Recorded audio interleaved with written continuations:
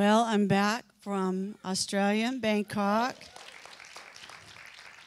I'll talk a little bit about that in a while. I feel like God has something to say about that for you.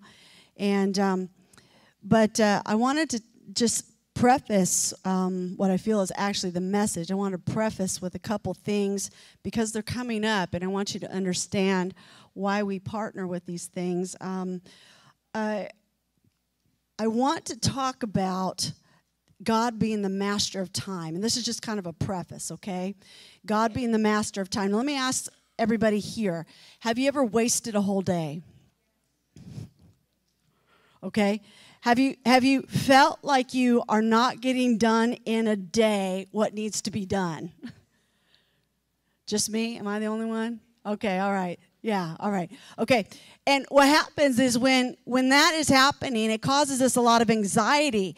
And I, I really believe the, the Holy Spirit, just again in this preface, He just wants to, to do a quick um, uh, thing with you to help you understand timing and how to get the timing of the Lord, okay?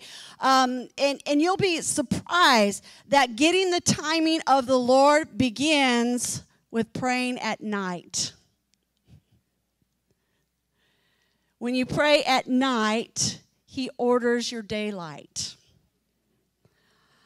Let's see what the Bible says about time. 2 Peter 3 8. But beloved, do not forget this one thing that with the Lord, one day is as a thousand years, and a thousand years as one day.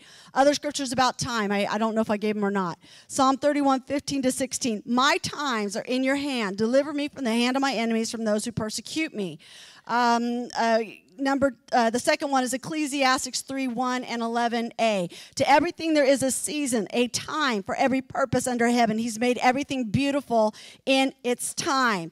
Uh, revelations 1 8 i am the alpha and the omega the beginning and the end says the lord who is who was who is to come the almighty. In other words god starts a thing and he finishes a thing. I feel that's for you joseph that you need to know that God will finish what He started in you. You will finish well. You will finish your race. You will run to the end. You'll breathe your last serving Jesus Christ. Amen? Amen.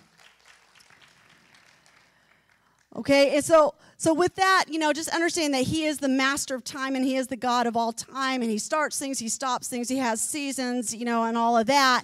Um, you know that that there is a, a a thing about learning how to align to his timing. And the way we align to his timing is aligning to the timing of prayer. There actually is a timing of prayer. Did you know that the Jewish day starts at 6 o'clock or starts at sundown? The day starts at sundown not when the, the light comes out. It actually starts at sundown. And then historically, there are what we call prayer watches that actually begin at sundown. Okay, and they, each one, if you uh, correlate them, I'm going to recommend a book to you. I don't have time to give give all this to you, but each each time frame actually has specific things that happen. You can correlate it to the Bible, uh, things that happen specifically during these particular time frames that when we are praying through these time frames we can trust the lord to to to bring in certain blessings into our life. Let me give you a few examples. And i, I got this from chuck pierce's book reordering your day. Um, uh, we have the the evening uh, prayer time 6 to 9 9 to 12 uh, uh, 12 to 3, 3 to 6. And for us, we actually pray once a month, 24 hours. That's the first Friday of each month. Uh, King David established 24 7 prayer, which is amazing. Uh, but what we're learning is that it has to do with watching with the Lord. And when we watch, uh, when we when we watch for the Lord, we actually He actually comes. Okay, we actually encounter His presence because we have watched for Him. Amen. And so we learned that there's different times. The first watch, 6 to 9 p.m., that's a time where we re- regroup and we still ourselves before the Lord. Genesis 24 63. Some of you single people will like this. Isaac went out to meditate in the field in the evening. We're talking about the 6 to 9 p.m. He lifted his eyes, and what did he see? Rebecca.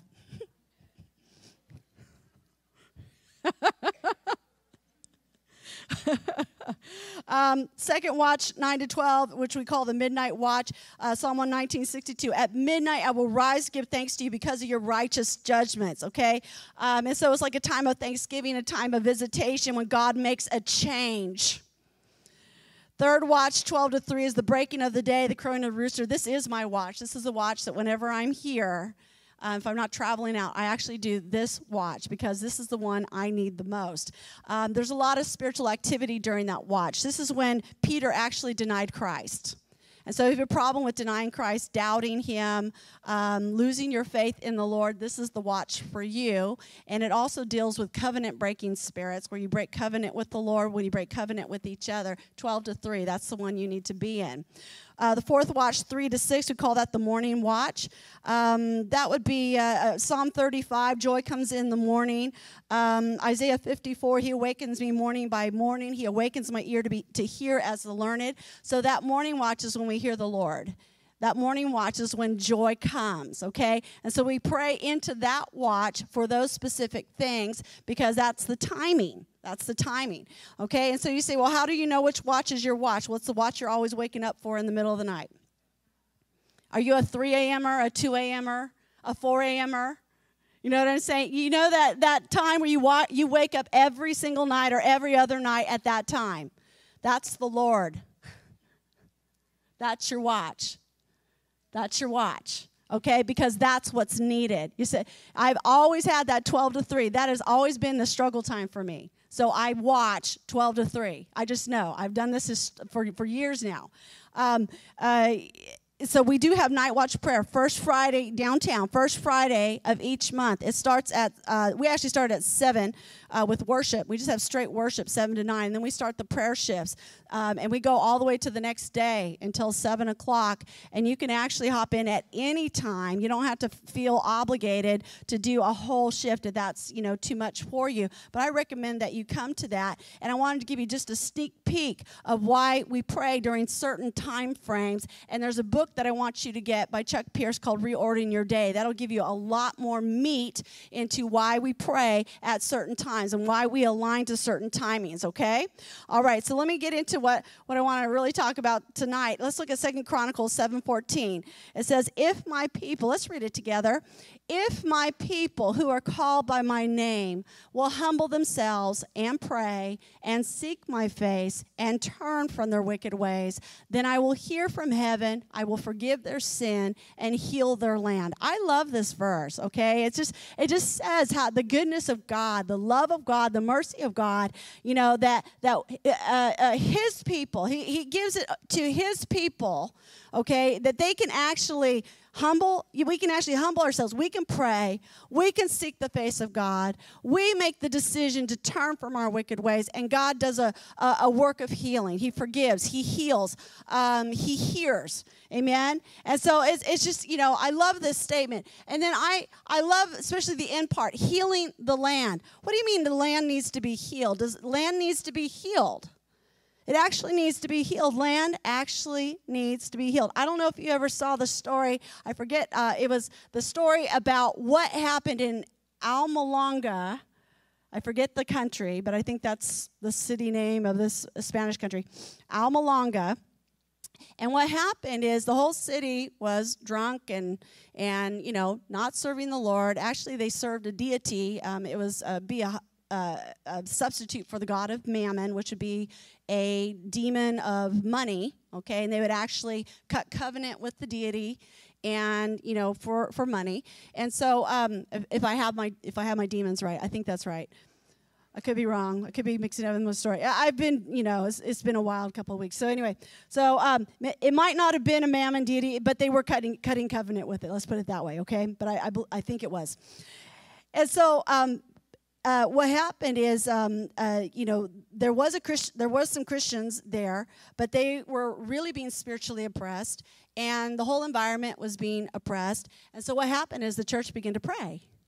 The church began to stand for revival. The church began to humble themselves, pray, seek God's face, turn from their wicked ways. And you know what happened? God heard. God heard, he forgave the sin and began to heal their land. And so by the time it was all over, well, number one, um, uh, the, you know, the, a lot of the bars shut down because, you know, the people uh, stopped drinking like they were. And then the other thing that showed up in their agriculture was they had supersized crops. I'm not talking like you have a big carrot. I'm talking carrots the size of your arm.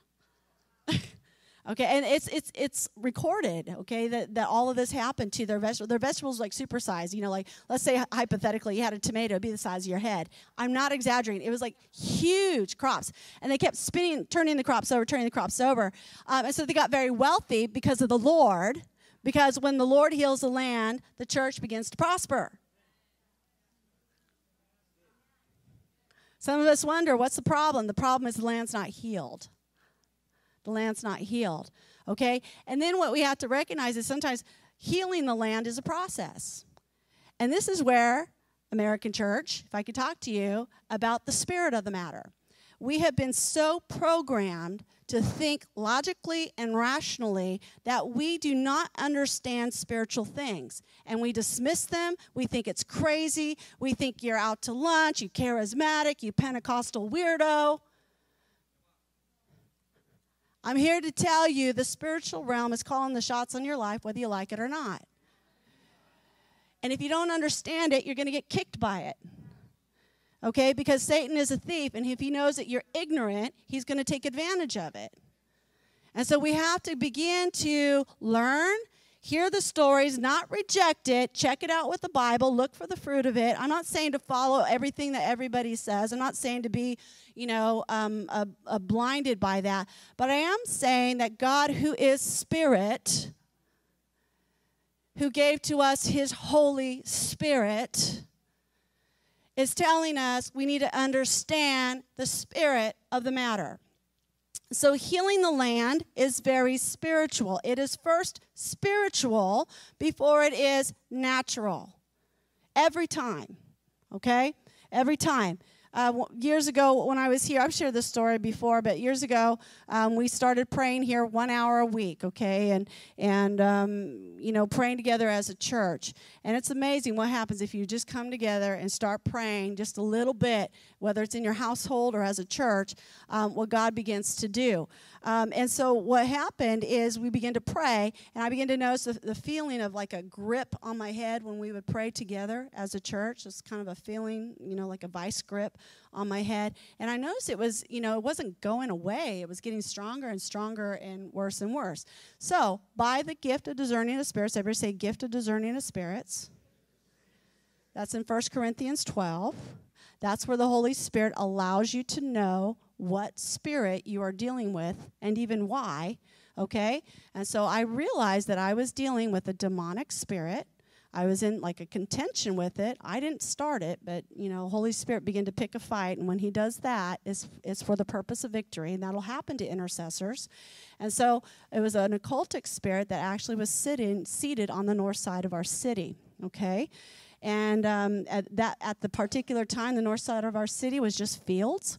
There's nothing there. It was all barren. There's, you know, just just fields. And so I felt this contention for several weeks, several weeks. It was really deep contention. And that's what we would call spiritual warfare. Everybody say spiritual warfare.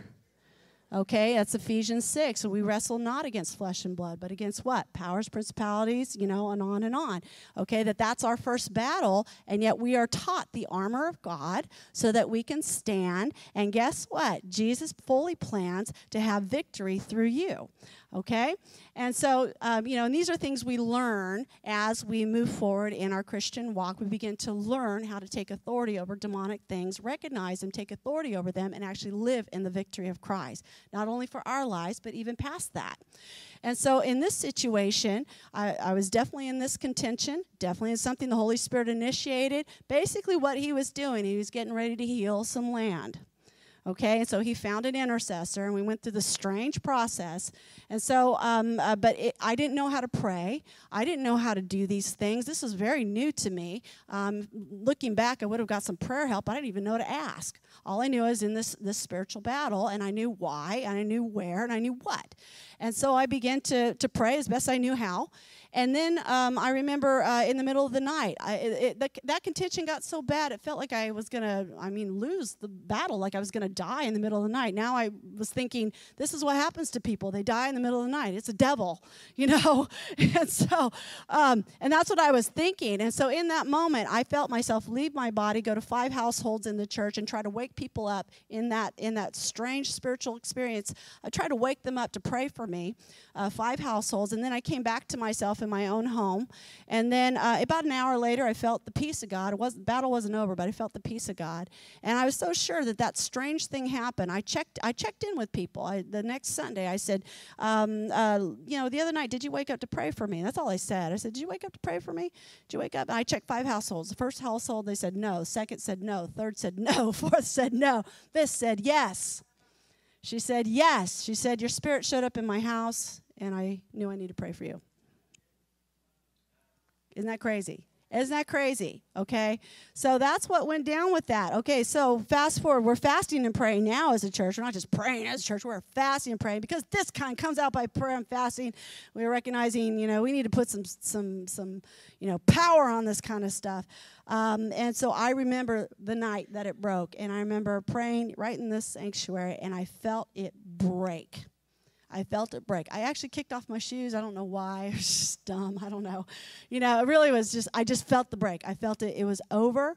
And you say, well, how do you know that really happened? Well, you can always point to something in the natural, versus spirit, than the natural. You can always point to something, evidence that it really did take place. And I remember that next year, that whole area began to, uh, buildings were built, schools were built, shopping centers were built, all this stuff began to be built. Now the land was useful and not barren, the land was healed. We have a house there. We have a house there on that side of the city. You know, to the victor goes the spoils, right? Praise the Lord. And I've learned every time I've been in some situation like that, I've been in many types of prayer excursions like that. Many, too many to count. I, you know, and they're always different. There's always a reward. Did you know that?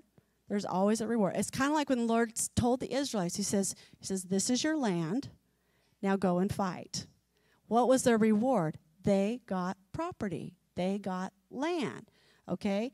Um, and so you have to understand that that one of the things that jesus gave us as the church to do okay one of the things was to actually um, uh, was to actually advance his kingdom in the earth.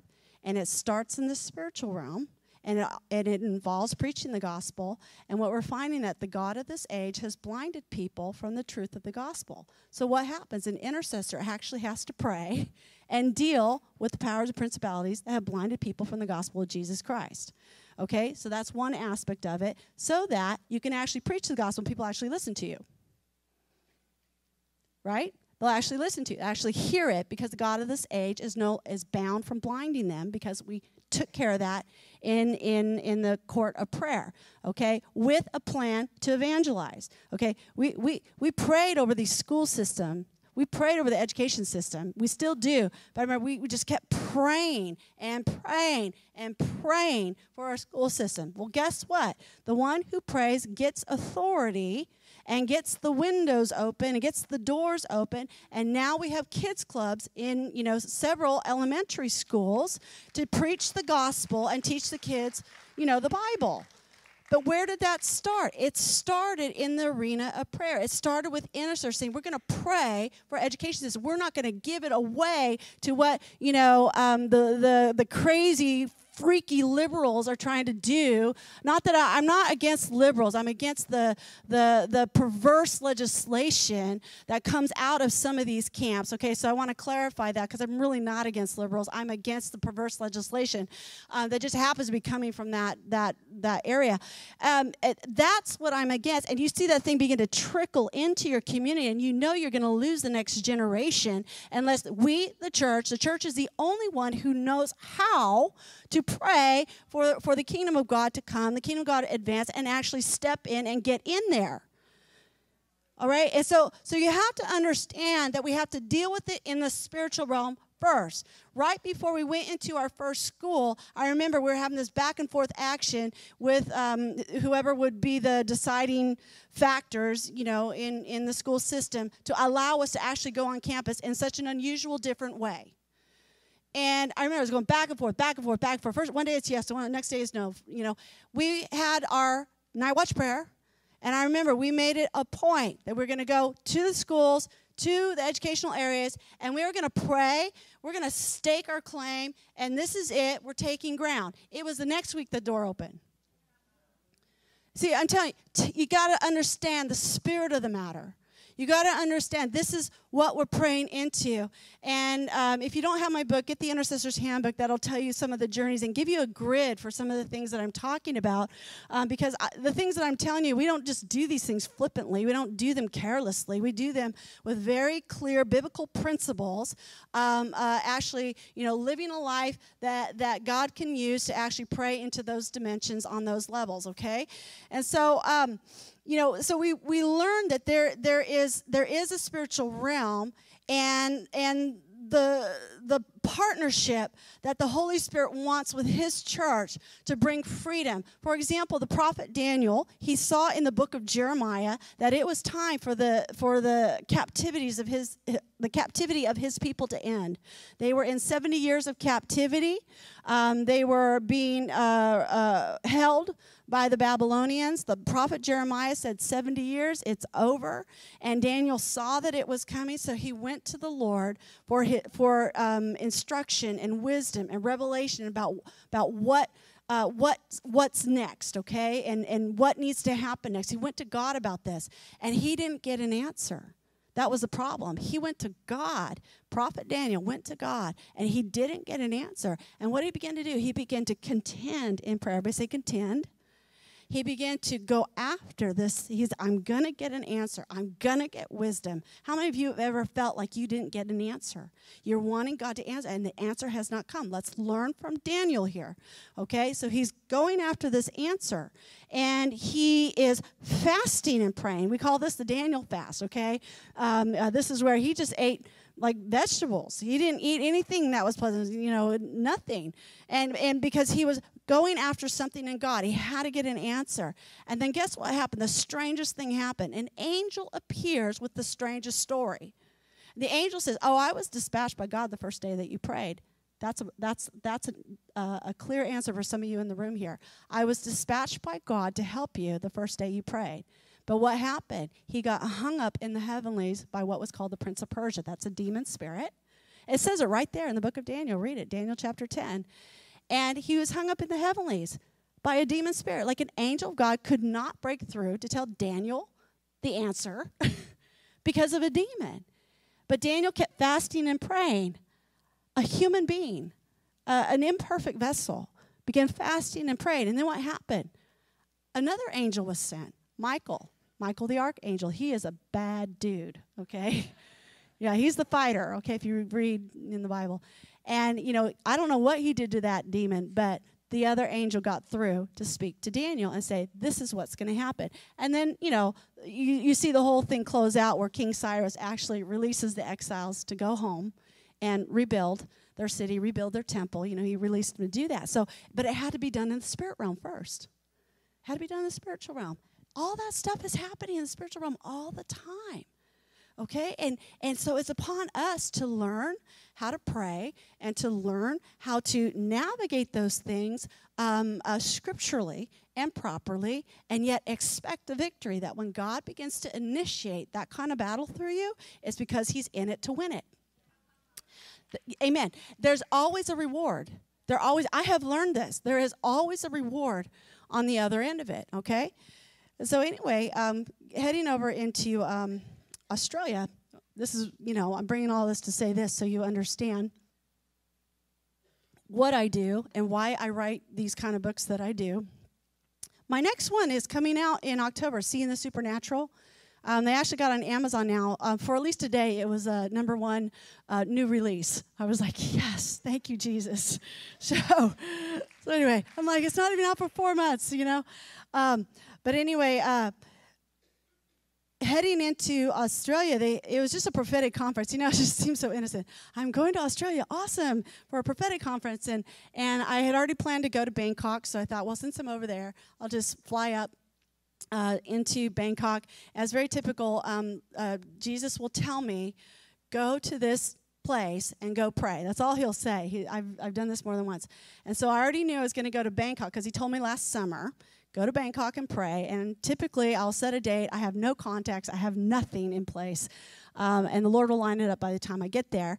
And what I did recognize, though, and this is how I knew it was Jesus, is because right after, a couple months after I agreed to go, is the king of Bangkok died. And so that means they are going into a time of transition.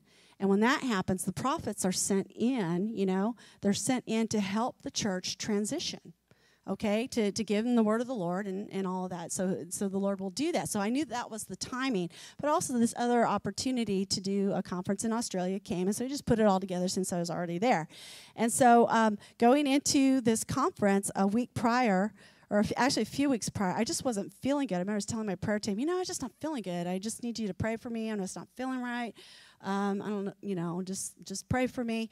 And then a week before um, uh, I went into um, uh, Australia, I actually ended up in the emergency room because I couldn't breathe. And so that's very rare for me to actually go to the emergency room. I don't think I've been in the emergency room for like nine or 10 years, you know, just, you know, I avoid the emergency room, okay, you know. and so, so anyway, for me to be in there, it's really, it's really serious. So I just, I just can't breathe. And um, then I'm just flat on my back for the whole week. Um, those you know me that I'm always moving, I'm always in motion. So, you know, for me to be on my back for a whole week, that's just, ah, you know, just, you know, something's wrong. So I pretty much, um, you know, I, I stuff like that, especially physical stuff, probably most of the time there is some kind of spiritual parallel to it. I've learned to recognize it by now. Um, again, because so many things are spiritual before they're physical. They may, you know, have a diagnosis, they may have a name, but a lot of times those things have started somehow, some way in the spiritual realm. And so I recognize what this one was. I recognize that I was dealing with what's called a python spirit. Ever say python? And so, where is that in the Bible?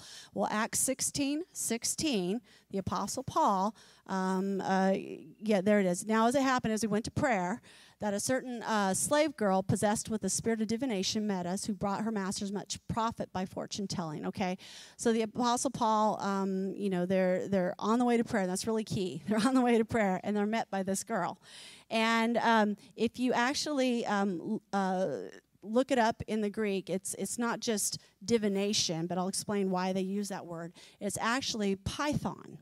It's actually python. And it's believed that that was the spirit, that was the guardian spirit to the Oracle of Delphi in that area. Okay, so basically, a python spirit um, uh, was uh, guarding the uh, divination that was, you know, accepted and, and uh, you know, leading and directing and guiding everybody in that area. And this girl actually was possessed, you know, showed up to Paul with with this spirit. And so, um, you know, if you read the context, you know, he got annoyed. Anybody ever been annoyed? You know, had that spiritual annoyance when you're about ready to cast out a demon spirit. Anybody ever had that happen to him? Okay, you know, it's this really weird annoyance. Okay, and like you do something kind of rude, and so um, I've had that happen before. You know, I, I've just snapped at somebody because they're actually possessed. I'm like, shut up, you know, and and uh, you know, it's it's this. But what's happening is you're reacting. You're not being a jerk. You're reacting. So he did. He got very annoyed. He just cast the thing out. Now you know this is very different from just being a person being possessed by a demon spirit. Jesus said, "If you are a believer, you will cast out demons." That's what he said. And a lot of times that would that would be in the sense of people who have a spirit you know, possessing them. Jesus would cast them out individually. So would the apostles, everybody else afterward. Okay, this, on the other hand, was different. This would be what we would call a territorial spirit. Going back to Ephesians 6, we wrestle not against flesh and blood, but against powers, principalities, and so on and so forth. So there's different levels of demonic spirits, and they affect terror, they affect things differently. Some affect people, some affect cities, some affect nations, some affect um, uh, they uh, they affect. Um, uh, philosophies and different things that come out that are lies, you know, um, uh, to to blind people. So so this is if you can bring that back up, please.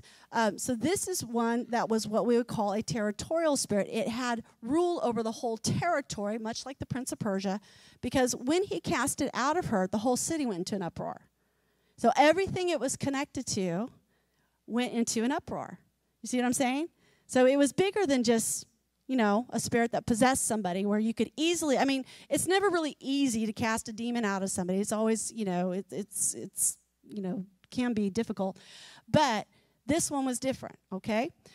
So my point is this. I was dealing, I knew I was dealing with the python spirit because I couldn't breathe. Think in the natural. What does a python do? It constricts you to death, right? Constricts you to death it, it you know, binds you, it constricts you, it, it takes your breath away, it, it puts you into what I call a maddening frustration because you can't move, you can't get out of a tight place. Anybody resonating with what I'm saying? Okay. All right, so I knew I was dealing with that. And I knew that, and, and but I, I hadn't researched the area yet. Normally I'll do some research because, again, this is what I do and I'll research and figure out, you know, what's happening there spiritually. What am I what am I dealing with there? You know, what are the what are the strongholds? You know, I'll just kind of take a quick peek. You just look it up on Wikipedia or get their newspaper or something. You can it's pretty easy to figure out. And so I realized coming in that the whole area of Western Australia had been dedicated to a python spirit from the beginning. I had no idea. They actually have a name for it. It's called a Waugal. And um, it, it, was uh, supposedly that spirit would show up to the Aboriginal tribal leaders and give them instruction, all that kind of stuff. And it supposedly uh, created all the waterways. And so it was kind of a python slash sea serpent, you know, um, uh, that kind of thing. So that's what I was dealing with. And you say, is this stuff real? It is real, friends. It is real. And so I was not able to breathe. I was dealing with a python spirit. So it's pretty easy to figure out what I was supposed to do there, right? Okay. So I knew, and I, I sat down. I always have a chat with the, the pastor, you know, try to um, get a game plan going. And so we're chatting through some things. And, and um, the intercessors there had already been alerted by the Holy Spirit that they need to deal with a python spirit. Isn't it interesting how he was already speaking to them? And then I told the pastor, I said, Well, I'm here to slay a python. And he said, That's pretty bold. No, I really was there. Because if it when things attack me like that, I'm going to I'm going to get you. so you know, and I knew that. You know, and again, I, when I make these statements, I don't say it flippantly or carelessly. Like I've been, I've done this enough where you know I'm just like I, I knew I'm like okay, we are going to put something down. We're going to lay something down in the court of prayer and we're going to kill this thing. Okay, and we're going to stop. And then I had a promise um, from God about it. Uh, Psalm 1, 148 7 says, Praise the Lord from the earth, sea monsters and all the deep. So, so basically, we're going to put a death order in the court of prayer as intercessors, okay? Um, and then we were going to make a decree that the sea serpent, didn't I give you that verse? Psalm, there it is. Um, yeah uh, Psalm 148 7, we're going to make a decree, okay, which is like you're writing, um, you're again writing an order in the spiritual realm that the sea monsters uh, would praise would praise the Lord. Okay, so so this this sea serpent, this this uh, python uh, spirit was going to praise the Lord. In other words, everything that it touched was going to praise the Lord. See what I'm saying? Everything, kind of like the python that affected the entire city. Okay, so so if we were to insert this promise, everything that the python touched will praise the Lord. That was our decree, okay? And so we actually, um, I actually tested this out the first night that I was there. I kind of like to just check things out. And I basically invited the church. I said, if you have been constricted, can't breathe, and I hadn't set it up or anything. I hadn't said, I haven't even talked about it. I didn't talk about it till the next morning. If, if I'm correct, did I talk about it, Catherine, the first night? I, I, don't think I even talked about this. No, I didn't. I didn't talk about anything. And so um, I think I just straight up trained in the prophetic. And so I invited them. I said, Now, if you have felt like you can't breathe, you feel like you are constricted, if you feel like you, um, you know, are are uh, in a tight space and you can't you can't break out of it, and I'm just listing all these things. I want you to come to the front. We're going to pray for you. So we had enough of a response, you know, um, and we began to break the python spirit off of them. Um, uh, people began to manifest uh, uh, somewhat demonically, um, and we began to to work people through uh, uh, areas of deliverance and things like that. And so that told me that we were on the right track, and then then the very next morning, we had the re- what we call the regional intercessors meeting. That means people from all over who are prayer people. They gathered at this church, and we began to pray. And I just flat out told them, I said, "I'm here to slay a Waugal. I, this thing tried to kill me last week, and I'm here to kill it. And we're going to put a we're going to put a um, a death order in the spirit realm, and we're going to come in agreement because the Bible says, two or more agree, then it shall be done. So we're going to agree on this." And I know that God was, you know, God was endorsing all this. We weren't we weren't acting on our own. I said, and then we're going to make another decree that everything the serpent has touched will praise the Lord. Okay, so we did that, right? We did that. And I thought, you know what? Since this is a sea serpent, that also is uh, reminds me of the spirit of Leviathan. I don't know if any of you have heard me teach on that before, um, which the Bible says is the king of pride okay? And, you know, basically, um, it is actually a, a, spirit of pride. And so I just, you know, I said, might as well deal with this too, and, you know, because this thing's probably more of a hybrid type of demon. And I said, so I just listed him. I said, all the symptoms of pride. And I just gave him this whole list. You know, if you, if you have this, this, this, this, this, this, this, I want you to get on your face and repent. Because when you are confronted with pride, hear me now, whenever you are confronted with pride, don't resist it. Fall on your face immediately immediately because you're being given a window of mercy. Because God resists the proud, but he exalts the humble. So don't fight it, don't argue it, just get on your face and repent. Okay, you say, well, what if I don't agree with it? By the time you get on your face, you will. And so, you know, and I've tried to teach people this because that whole pride thing is tricky. It's really tricky because it's very deceptive and it blinds you. Okay? You know, when we start talking to people like, do you have a problem with blame shifting? Do you have a problem with turning it around on people? You know, you, you know, can, can anybody correct you? You know what I'm saying? And we started doing that. Like, if that's you, you get on your face now. You see what I'm saying? Because pride is it's very tricky, and when the Lord confronts you, you you repent immediately um, because you're giving a window of mercy. It is the mercy of God, but then um, uh, you don't want to resist it, and uh, uh, you don't want to you don't want to argue why why you're not prideful. so so anyway, but anyway. Um, so we're moving through, but here's here's something that I felt that was the big one that I needed to really bring to you tonight. Um, actually, there's two things, but but one of the things we noticed consistently through it started in Australia, and we actually saw it in Bangkok, is um, uh, we we saw this this manifestation demonically very consistently, and it's something we didn't set up. It's not like we conditioned people to be delivered of a certain thing, okay, with a particular manifestation. We didn't set anything up, but we saw it consistently, uh, beginning in Australia all the way into Bangkok, and it did the same thing every time. But we begin to see that people are getting delivered from a spirit of rejection, a spirit of rejection you know, we think rejection, well, that's an attitude, that's a psychological thing. No, it's actually spirit. Every single time they begin to cough up the spirit because it was so deep inside of them. And you say, well, these are Christians. Christians can't have demons. Oh, yes, you can. Oh, yes, you can. Now, your spirit's saved. Your spirit is, is, is totally captured um, and renewed by the Holy Spirit. Your spirit's gone to heaven. Okay, that piece of you is set. You know, you don't have to worry. Okay, but the rest of you, the rest of you, You've got to get delivered. Every Christian needs some level of deliverance, okay? And so uh, going back and forth, Catherine and I, you know, we're going back and forth because we have our four doors that we've always preached. You know, it was like occult, fear, lust, and hate. You know, we always say those are the big four doors, and you, this is where we're gonna we're gonna look at deliverance points in your life through these four doors. You know, if you have hatred, in other words, unforgiveness. Um, you know, if you have an occult history, if you have sexual sin, um, and I lost the other one in my head just now. Fear. If you have, if you have, if you're afraid of anything, okay, we're going to go through that. What we, are talking about, and Catherine's like, I think we need to have a fifth door. I think we need to have rejection, rejection as door number five. Needing deliverance. And you know what? I felt like I was supposed to deal with this tonight here rejection. Because what happens is we hide this thing. And what happens is when we don't deal with rejection, it, it creates, um, you, you either get like rebellion, or you get pride, or you get fear.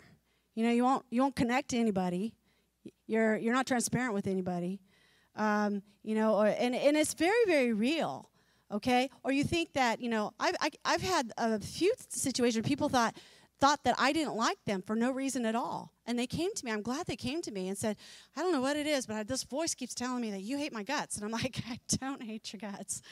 I totally like you, you know? Okay, that's a demon. Can you imagine that gets in between your relationships with others? Or you keep thinking somebody doesn't like you? You keep thinking pastors don't like you? Your spouse doesn't like you? your children hate you, okay? Or if it's still affecting you, like you can't have certain levels of relationships because of what somebody did to you, right? Or they're going to get you, you know? They're out to get you. Everybody's out to get you. All right, everybody's out to jack with you. Okay? I've been there. I've been there. All right? It's it's spirit of rejection. A spirit. And needs to, it needs to come out. Okay? And I'm just going to invite you to stand right now. Um, I actually have a little bit more to go, but I think we need to deal with this thing. Okay? And you say, "Well, well, I don't want anybody to see that I have this." Well, that's that's not how we do things as a family.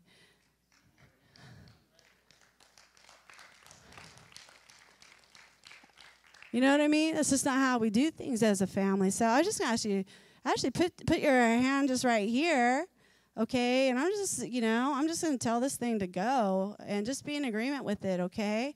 So I just command the spirit of rejection to leave you in the mighty name of Jesus. Rejection, go. Rejection uh, that came from past hurts, rejection that came from abandonment, rejection that came from church people rejection that came from divorce, rejection that came from abuse and mental abuse and psychological abuse and cruelty against your life. I command rejection to go. Now! Go! Now! Come out!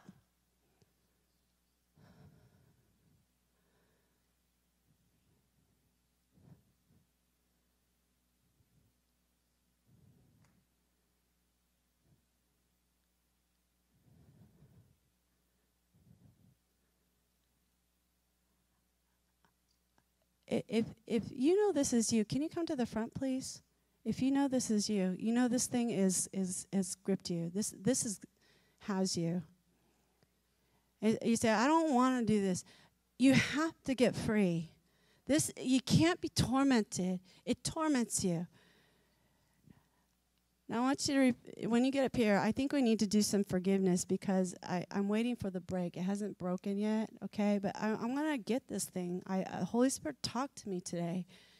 But I want you to actively forgive whoever it was that abandoned you. It could be a church person, okay? It could be a pastor, it could be a husband, it could be, you know, things in the childhood that like you, you it's still, you're still arguing with it, okay? You're still boiling over it you gotta you gotta forgive. Let let let them go.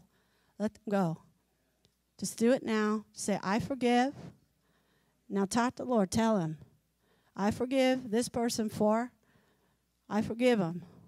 I let it go. I let it go. I let it go. I let it go.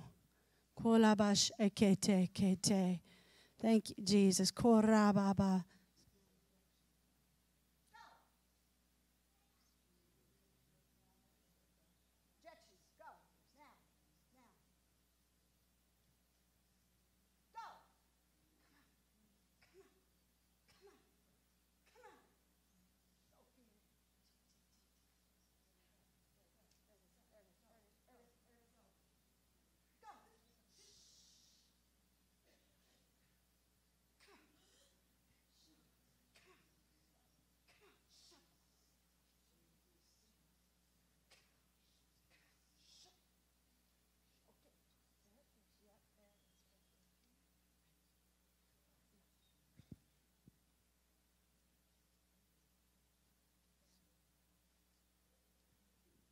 Catherine, can you follow up with me? Just finish it.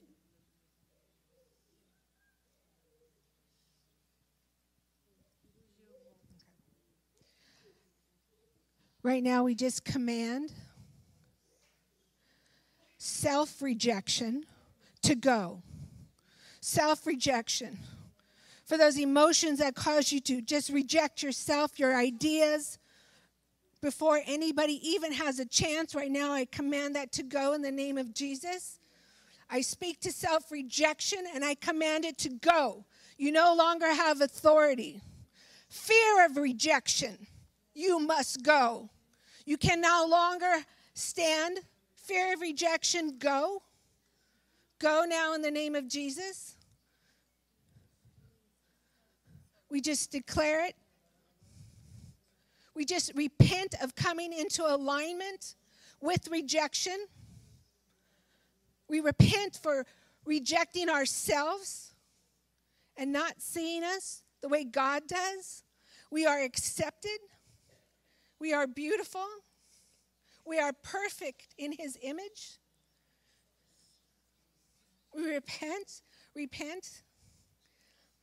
I forgive myself for coming into alignment with fear and not standing in faith. The perfect faith right now in the name of Jesus. Right now, we just command it to go. I accept healing. I speak to my emotions and I call, call them into order right now. Perfect order. We just call them into perfect order. Just go. Jesus. Now.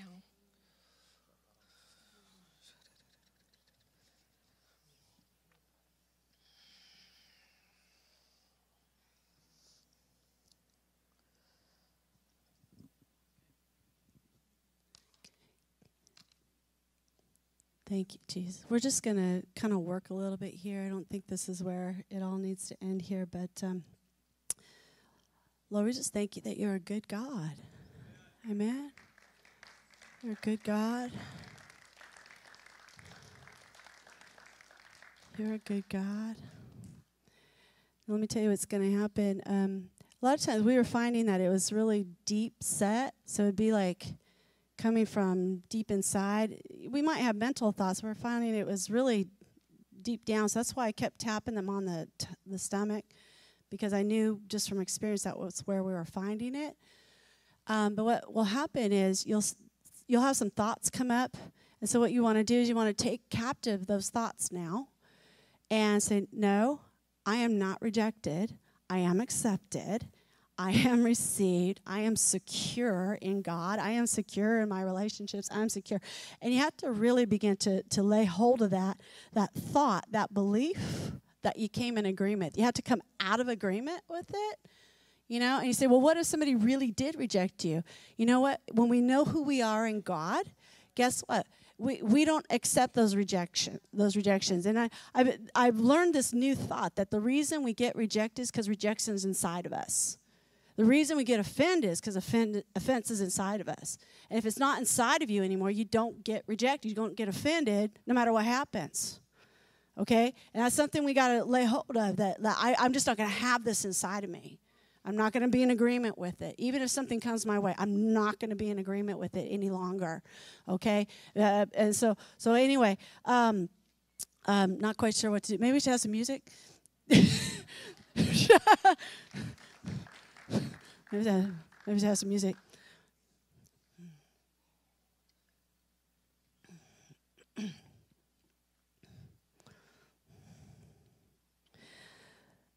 So I'll just wait till they get up. Because we're we're gonna have one more piece of this. That's right. We're gonna have one more piece. Amen. Thank you, worship team, for being flexible with me. I always wish it could be a little bit more orderly, but that never happens with me. So, so anyway, um, in Australia, uh, just happened to be be in a church. If you want to sit for a little bit, I'll let you sit, but then I'm going to get you back up, okay? Um, so you can just stay standing. I won't be long here, but. Um, so when I was in on Australia, and, and here's something that I've learned as just a person, it's something that I carry, that I'm always a person that can learn something new, um, uh, that I've never arrived, and I can always learn from somebody new. I can learn something new. I can get a new new idea about something. And if, if you'll stay flexible that way, stay a, a learner, you'll constantly keep growing, okay? And so um, when I went into the church, you know, they just happen to really have an unusual intimacy in their environment. Um, they've cultivated a really a strong connection with one another. and They cultivated a really um, powerful intimacy, especially in worship. Um, and it's it's one you know I was in a basically in my opinion it kind of it took me to school to be honest with you not that I don't know the intimacy of God Not that I haven't had great, wonderful experiences in worship here um, and personally. You know, it's nothing like that. There's no complaint or anything like that. I just know that they, they crossed some barriers that I haven't crossed, okay? And so, in that environment, you know, I begin to, to really um, uh, just experience the Lord in a very unusual way in regards to worship and intimacy and things like that. Well, that very night, now this is what you want to listen to, this is what you want to hear. That night during the conference, in the middle of the night, the Holy Spirit visited me. And this is where it's really hard for me to even share this, but I'm just sharing it. Holy Spirit visited me in a like in a, in a in a manner that I'm still trying to language. I'm still trying to figure out how to even explain it. I don't even think I have words for it to be honest with you. But the best way I can describe it is he he caught me in the middle of the night. He pulled me out, pulled my spirit out of my body, and he pulled me to himself. Like he just pulled me right to himself. And then when he did that, it felt like something dropped in my heart. I don't know what that is. But when he did that, it wrecked me. Absolutely wrecked me. I can't describe the emotions. I can't describe what I felt. I can't describe what that did. I just know that I have been undone ever since. And it, it's something about intimacy with God that actually begins to birth nations because every nation needs to be birthed in intimacy. We always wanted to get into our authority mode, and he's like, No, you got to get into intimacy mode. that authority flows from the place of intimacy, that you've got to be a lovesick warrior. that if you're going to go into these kind of battles, it's because you love Jesus Christ. Not because you're trying to be high and mighty and all powerful and all that kind of stuff. You know, and these are principles I know, but I've never felt it like that. That's how I say it. it's something I felt that wrecked me. You know, and and the best way I could describe it is in Luke chapter 1 when the angel visits Mary and he says, let me tell you what's going to happen to you. The Holy Spirit's going to come upon you. The power of the Most High is going to overshadow you. And what will be conceived in you is a holy thing. Well, Gabriel said, This is what's going to happen, but she never wrote down the event. And I think I know why. Because there's no words for it. There's no words when God touches your life like that. But your life is never the same, and history is changed. Do you see what I'm saying? And I'm bringing this to you because I have been wrecked. I have been like trying to, to grab a hold of the heart of God in dimensions that I can't even figure out. Like, I'm in the Bible, like, okay, how does this all work? What happens? Like, this whole thing has got to like awaken in everybody I know because it focuses you, it sets things right, it fixes things in you. It just, like, in one second, things are fixed. To bring it to you other than to just tell you the story and say, I'm on a chase now. I'm on a chase. I'm on a chase. I brought it into Bangkok. I said, I think this is this is for you, that this nation has to be birthed in intimacy. The most perverse place ever. The Lord's saying, Church, get intimate with me and I'll birth your nation. Whoa. He's saying, he told me, he says, you need to love the new king. I told the church, you need to they don't love their king. I said, you need to love your new king. Because that's the key. this is what God is doing with me, so this is what he's doing with you. Praise the Lord. And so I want to end this time. See, here's the thing you're getting free of rejection, but it's not going to last if you don't know God's love. If you're not sure of that peace, it's not, it's not gonna, it's not gonna stay. You're just gonna get back into your old pattern. But I'm praying that God would meet you very uniquely in a way that would work for you and wreck your world with his love. Because that will make you solid against any whatever anybody says. It'll just it'll solidify you. So I think we should just worship. I think that seems appropriate. So let's just finish out that way. You can come to the front, you can stay in your seat, whatever. I don't recommend that you do things the same old way though. Okay?